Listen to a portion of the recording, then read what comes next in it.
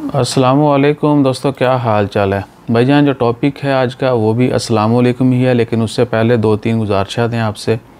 पहले वो सुन लीजिएगा और वीडियो पूरी देखिएगा। एक तो ये कि गुस्सा नहीं करना हल्का फुल्का महसूस भी नहीं करना, क्योंकि गुस्सा जो है, वो अकल को खा जाता है और हराम भी है। लिहाजा अपनी अक्ल जो है, गुस्से के हाथों तबाह मत करवाइए।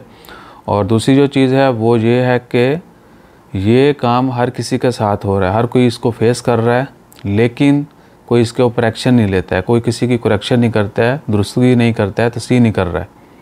ठीक है ना? तो आपने वीडियो पूरी देखनी है, जो हम बताने जा रहे हैं उसके ऊपर अमल भी करना है, और यह चीज़ हर किसी के साथ हो रही है। आज ईद है, नौ जुलाई है, हफ़्ते का दिन है, सुबह से आप सब दोस्तों को भी मैसेज आ रहे होंगे। मैसेज जो हैं वो आ रहे होंगे ईद मुबारक, कोई स्टिकर शेयर कर रहा है, कोई टेक्स्ट है वो फॉरवर्ड कर रहा है। फॉरवर्ड का सिलसिला तो हमारे ऊपर फ़र्ज़ है। हम शायद वो खुद भी मैसेज पूरा नहीं पढ़ते होंगे, लेकिन फॉरवर्ड कर देते हैं।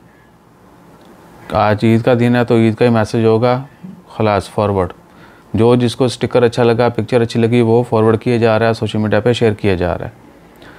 तो जो बात करने वाली है, वो है, अस्सलाम वालेकुम मुझे भी जितने भी मैसेज आए मैं बीस के करीब तो मैंने जो रिप्लाई किए हैं, किसी ने अस्सलाम वालेकुम नहीं लिखा। ठीक है ना? मैं पहले माजर कर चुका हूँ कि गुस्सा नहीं करना हल्का फुल्का महसूस नहीं करना। किसी बंदे ने अस्सलाम वालेकुम नहीं लिखा। बस स्टिकर शेयर कर दिया, ब्रॉडकास्ट मारा, उनका फ़र्ज़ ख़त्म। अगला जाने, उसका काम जाने। तो मेरे ख्याल से अगर बंदा साथ में सलाम भी लिख दे तो अगला बंदा जो है, एक तो वो खुश भी होता है और रिप्लाई करता है और फिर सलामती आपको पता ही है। दोनों पर सलामती होगी तो सलाम को आम कीजिए और इस चीज़ के ऊपर भी आवाज़ उठाइए। ये छोटी छोटी कह लें कि हल्की फुल्की नेकियाँ हम ऐसे ही ज़ाया कर देते हैं। और अगर आप गल्फ़ में रह रहे हैं, यहाँ पर भी रह के अगर हम ये चीज़ें नहीं सीखते तो फिर अल्लाह हाफज है। इधर आपको पता होगा कि ओमानी लोग हो गए या बाकी अरब भी। ओमान का तो हम ओपनली कह सकते हैं, बाकी अरब का ज़्यादा नहीं, हमें पता है। लेकिन ओमान में क्या है कि हर बंदा आपको अस्सलाम वालेकुम बोलेगा। और कोशिश करेगा वो पहले बोले। गल्फ़ के बाकी मालिक भी, बल्कि अरब के मोस्टली जो मौलिक हैं, उनमें यही कल्चर है। तो यहाँ रह के अगर हम नहीं सीख सकते हैं, यानी जो हम डेली हमारे साथ हो रहा है, हम देख रहे हैं, हम कर भी रहे हैं तो किसी को बुलाते वक्त, किसी को कोई पैगाम भेजते वक्त हम पहल क्यों नहीं करते? ये सोचिएगा ज़रूर और हो सकता है हमारी एक्सप्लेनेशन बहुत अच्छी ना हो, लेकिन जो पॉइंट है वो आपको समझ आ चुका होगा।